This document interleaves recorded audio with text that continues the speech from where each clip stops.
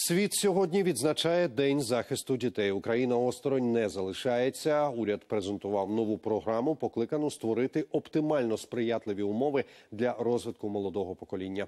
Про неї розповів прем'єр Володимир Гройсман на міжнародному форумі громад Дружніх до дітей. Форум проводять у Києві за ініціативи ЮНІСЕФ.